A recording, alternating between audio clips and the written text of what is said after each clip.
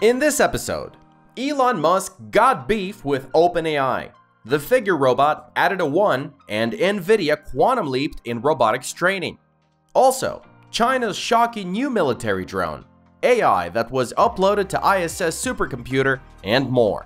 Let's get it.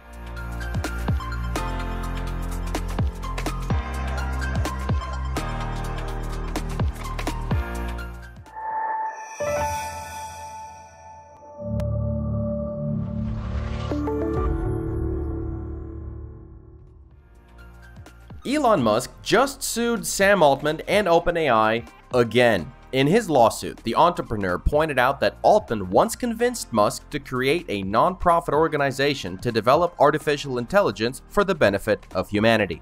Elon invested in the project, letting it develop at his expense for the first five years. However, as soon as gargantuan profits showed their head on the horizon, Altman turned the company into a commercial enterprise. Last year, 2023, OpenAI entered into an exclusive agreement with Microsoft, giving it license to GPT-4 and all their tech that preceded it. At the same time, the company imposed a paid subscription and didn't publicly disclose R&D results, including details of the architecture, hardware, training methods, and computational resources used to create GPT-4 and 4o. To conceal its actions, Musk claims OpenAI moved most of its researchers to a commercial entity. This move allowed the company to evade public scrutiny and avoid financial disclosure, which is mandatory for non-profit organizations. Musk now is asking the court to impose maximum damages for breach of contract, false advertising, unfair competition, and other shenanigans. Let's play Nostradamus. Who do you guys think is going to come out on top?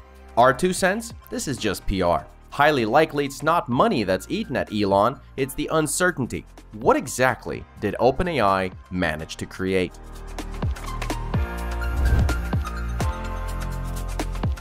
And how about this gem? We all know and love the Figure 1 robot. Guess what? There's two of them now. The demo left a lot of questions unanswered with zero useful info to go by, as it was most likely intended to do. However, IEEE Spectrum journalists managed to get in touch with representatives of Figure AI and learn a little more. So apparently, Figure 2 is the result of, quote, complete redesign of hardware and software, end quote. Just like O1, Figure 2 is already undergoing testing at a BMW factory, where engineers are trying to figure out where and how to use the robot in the first place. Imagine the face of BMW when they heard they gotta put O2 somewhere.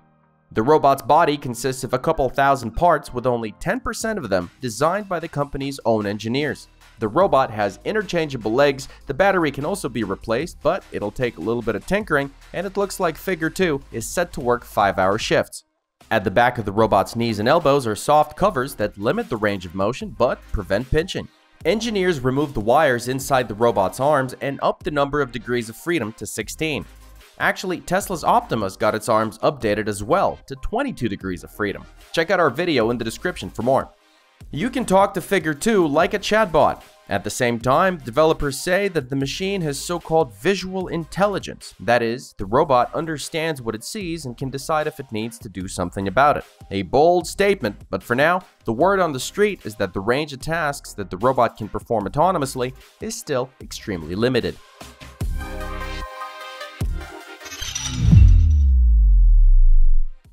Moving on, check out this little guy from Berkeley.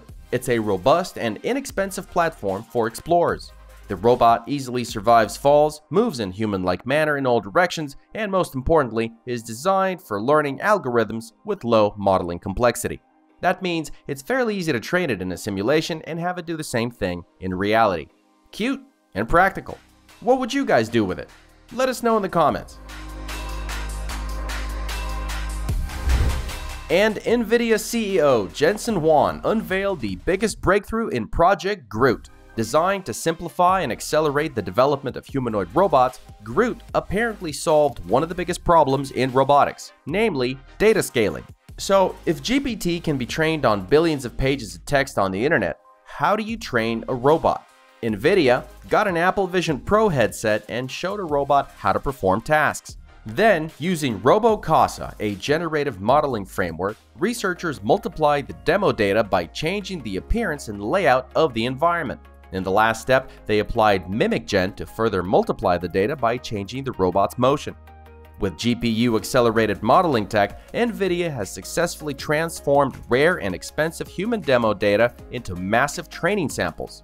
As Huang said, quote, it seems we can finally apply the law of scaling to the field of robotics, end quote. Somebody, pass Jensen a message, please. Teach it to do dishes.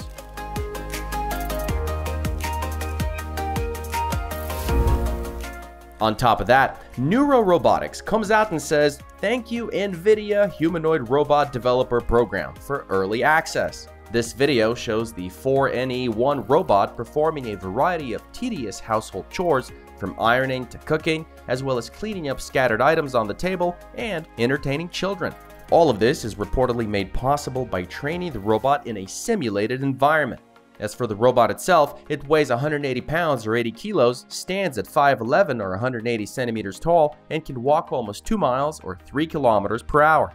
The robot is equipped with sensors in its arms that allow it to pick up objects accurately. A display on its head shows status, and the head itself has microphones built into it for voice recognition.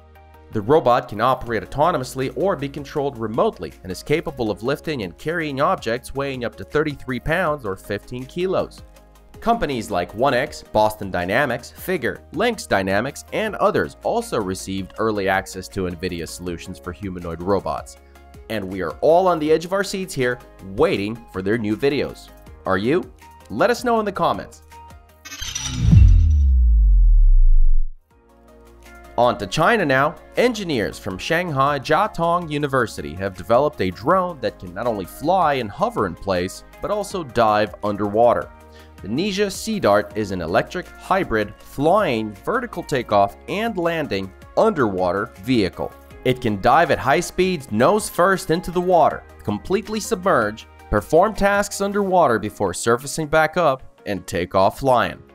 From what we gather, this is literally the world's first drone, apart from its predecessor, that can dive, complete a mission, and then go about its business in the air. Obviously, this is intended for military purposes, although this is not directly reported. Characteristics of the Nezha Sea Dart are unknown, but the original drone could fly 22 miles or 36 kilometers per hour, reach distances of up to 4 miles or 7 kilometers on a single charge, and dive over 160 feet or 50 meters. For more, check out our previous video about Chinese tech in the description. Do we have any fans of Black Mirror here? Unitree has upgraded its Go2 robot so that humans can't run away from it. Advanced motorized wheels and software allow the robot to quickly traverse rough terrain and impressive obstacles. At the same time, the wheels can be locked so that the robot can walk with a simple step at a speed of 8 feet or 2.5 meters per second, walk on stairs, or for example, balance on its front legs. Basically, all the power and dexterity of Go2, but with increased speed and walkability. What do you guys think such a robot could be useful for?